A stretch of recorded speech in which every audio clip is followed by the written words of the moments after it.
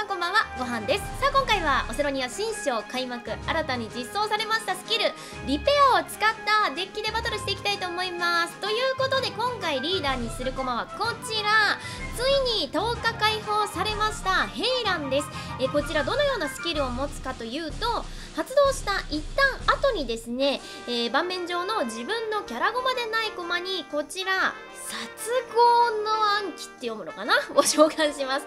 えこちらはですね通常ダメージの70%を、まあ、相手に返すことができる罠ですね。コンボスキルがありましてなんとですねこちらコンボすればするほどこちらの暗記が増殖していくといったものとなっています。えそしてこちらコンボスキルに新スキルリペアがついています。こちらはですね自分のデッキにマゴマが10枚以上の時に盤面上のですね自分の待機状態でない罠スキルをランダムで2つ待機状状態に戻すことができるといったものとなっています。えなので発動してしまった罠を再び発動前に戻すことができるということでですねおまけにですね戻した罠スキルの数かける600の毒ダメージを与えることができるので、まあ、最大で2つですね、え罠を元に戻すことができたらえ追加で1200の毒ダメージが入るといったものとなっています。えということで今回組んだデッキはこちら。はい。まあプレイバックということでまあこの英語が正しいのかどうかわかんないけど 10日兵乱をトップとしたマデッキです。まあこの兵乱の優秀なところっていうか嬉しいところがマゾメデッキじゃなくていいっていうことなんですね。なので神駒もねちょくちょく入れて HP を高めに保っています。そしてこちら身長駒のアレス。こちらはスキルがリペアですね。こちらはですねランダムで罠スキルを3つ待機状態に戻すことができて戻した罠スキルの数700のの HP を吸収するということで、まあ、最大で3個なのでね 2100HP を吸収しつつリペアするといったかなり強力なものとなっています。そしてコンボスキルもですねリペアですね3つ待機状態に戻しつつ戻した罠スキルの数かける1500の特殊ダメージといったかなり強力な駒となっております。ということで今回私はですねかなり多めにですね罠を編成しているんですが今回のおしゃれポイントはこちら。ベルフェゴール。もう本当にオセロニアの初期の初期に追加された S ゴマですね。進化のものです。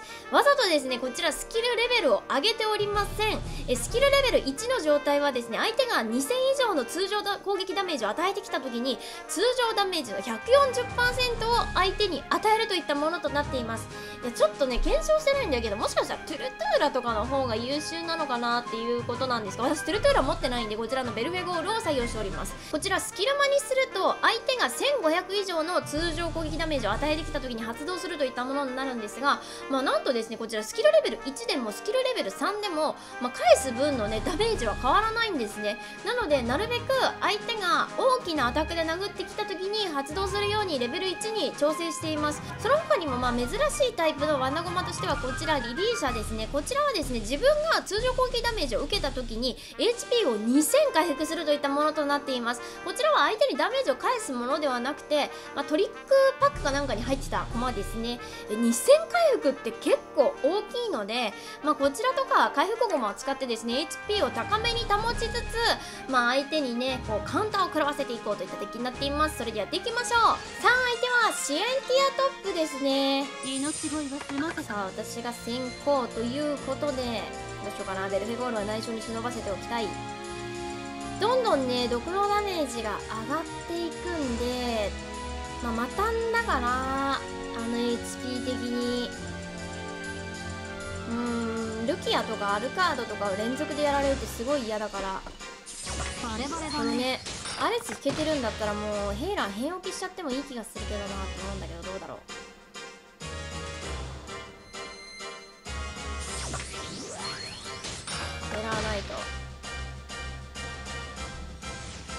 えばルキアをやられたら軽く頭を使いましょうか。ちょっとやめる。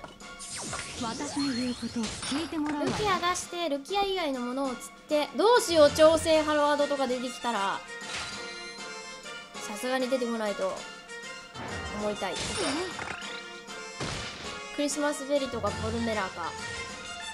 意外にねこのアリスがアタック低いんでオッケーオッケーミサトケなんで釣られはしないか見せてあげる。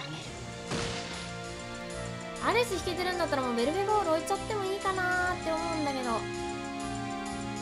相手のダメージソースが何なんだろう。っていう上の音よ無理やり吸収させて辺取っていくか。うん。ちょっとベルフェゴール置きたいんで辺取っていこう。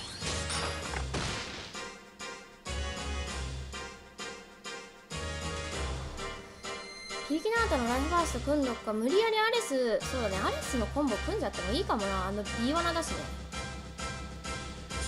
知りたいかい？ライフバーストか香りくんデバフ。シンカラスカみたいなやつやね。人とは関わりたくないけど。ここはピリキナータ置いとこうもうこれで暗記全部消されちゃってもうベルフェゴール置いて発動したらアレスで復活とリライトライトが知りたかった真実だまあでもアレスがねいるんで。2個封印マスか封印マス結構厄介だなあこれ強いぞ。これ復帰できたら強いぞ。と貧乏症だからアレス3枚置いてから使いたいみたいなのあるんだよね。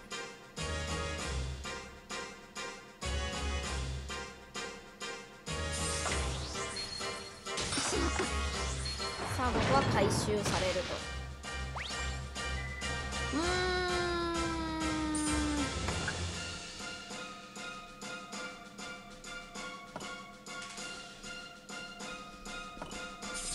曜日置いて繰り返されない位置にデフェゴール置いて相手がライフバーストコンボしてきたらアレスで吸収しつつ復活させよう。それがいい。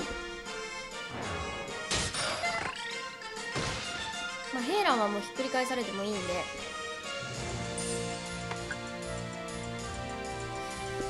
れちょっと待って。特殊優先からでまあおしゃれベルフェゴールの回ですからベルフェゴール置いとこう。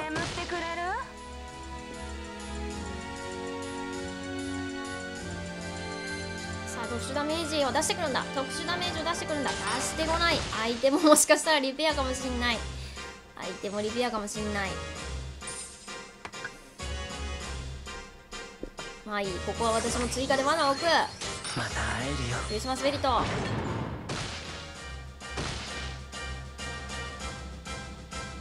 これねアレスコンボさせられる位置に出せば一生ね罠生き返らせられるから。おっと本当は序盤に引きたかったやつや。さあここで私は放っていくここで一回ここで一回あのリリーシャ。生き返らせます。これすごいよ。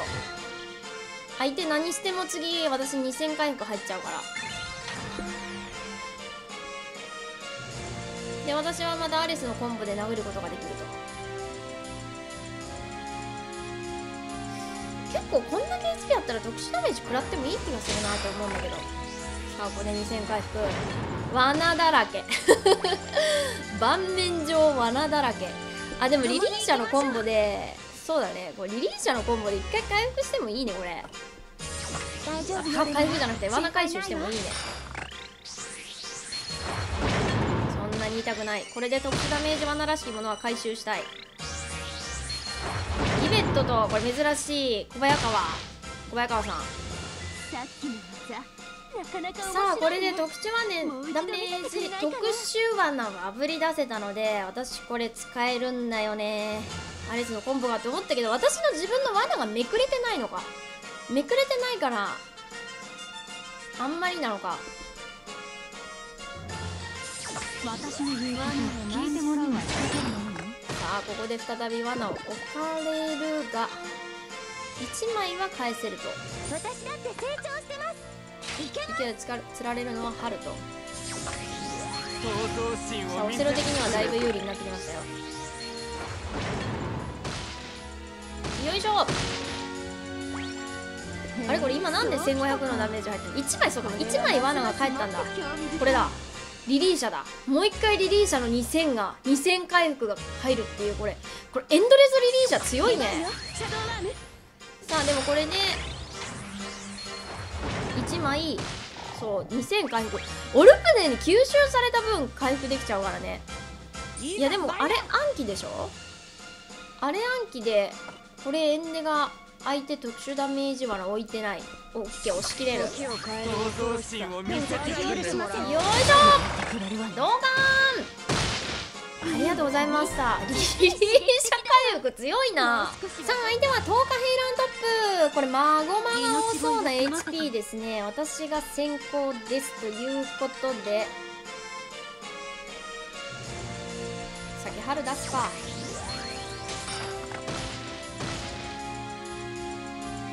次のターン相手は絶対動画平乱置いていきたいから次の次のターンか。非力ナータ出して私も平乱出してと、うん、800フェリとかボルメラーか。私だって成長してお引き強い。いけます。でもねこのねリリーシャちゃんね本当にリペアさせるとめっちゃ使えるからひっくり返されない位置に置きたいんですよね。で私はヘイランを置いて次クイナ X でリリーシャを安全な位置に置いてあとはアレスが引けるのを待ちたい。迷ってるな。ルキア出そうかなって考えてるのか必殺の一手見せてあげる。なここはクリスマスピーキナータで90%変える。90だよね人とは関わりたくでないけど。私もここで必ヘイ殺の一ランを見せてあげる何罠だったんだろう。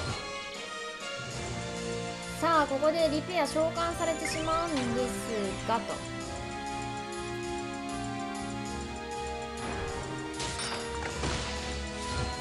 まだ多いですね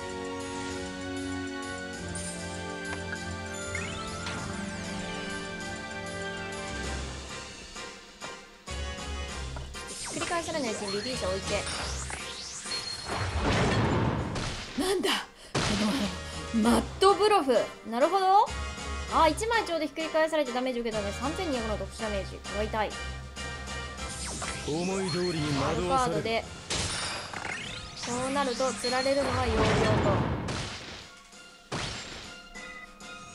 1枚ちょうどひっくり返せるマスとひっくり返した枚数適当にやらせてもらうわ。ベルヘゴール引けたこれはちょっと暗記消したいね。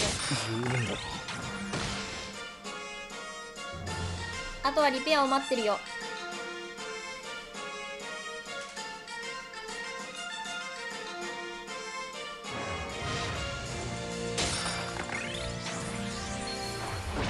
謎の罠謎の罠僕が全てを見通すよこれ一回ベルフゴール置いとこ。うまだ HP に余裕があるんでこのマットブロフの、うん。1枚ちょうどひっくり返せるマスでひっくり返した枚数かける2500だから一生2500しか与えられないってことだよねこの人。さあその S はななんて読むか。私はまだクイナがあるんで。まだベルフェゴール発動しない。曜秒召喚。そんなに急がなくてもいいのに。曜秒消されちゃったら嫌だな。曜秒消されちゃったら嫌だけど消してくるよね。いいや。これが陽子の力です。みんなに取られちゃうけどダブコン。うーわ神谷ちょっと痛いぞ。ちょっと痛いちょっと痛いけど吸収で吸収で大丈夫。エルフェゴールが控えている。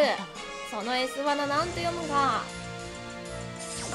お僕の血が発動圏内のダメージではない。ここで 何が復活した？もうややこしくなっちゃってるから。何の？何の罠が復活したか今もうわけわかんなくなっちゃってるから。ちょっと待って待って待って待って。クイーナのダブコンでしょ？いやこれなんいけるかエンデガで。でもなんか変な特殊ダメージが返ってて。大丈夫や。いける。我が命が奏でるロンドン。皆さんトリプルコンボでダメージ返ってきてそして吸収と。ありがとうございました。ベルゴール。発動しなかったねアタック的に。さあ相手は新春乱量トップの紙デッキですね。先行が引けましたと。罠残したいんだよね。罠残したいから先にこれは春捨てて。次でも言うて金色フギムニとか置いてくるから響きの後は無駄になっちゃうんだよね。引けてないか。引けてないか。でも金色フギムニとかをよ来る可能性があるから響きの後もうちょっと温存したいんだけどな、まあ、神でいっか。バレバレだね。さあこの罠を何と読むか。正月神の140%のね2枚ずつひっくり返したんですね。守れるものがあえるてかそれベルフェゴールより強くない？ベルフェゴールより強くないっていうことでシールドアンドロメダ。今こそ命をオッケーアリスもつけてる。必殺の暗記見せてあげる。これ早い段階で罠ポンポン祭りしてもいいかもな。でも神タワな後半が怖いからね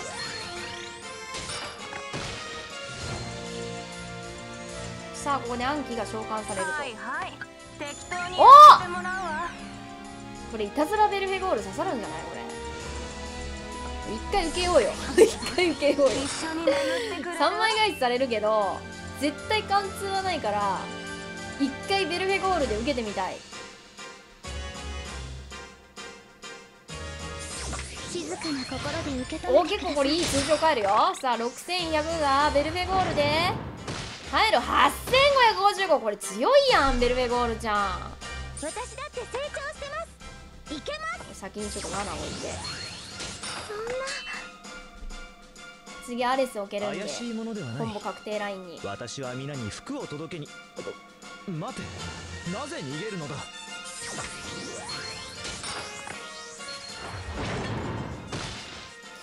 コンボ確定ラインにはさせてくれなかった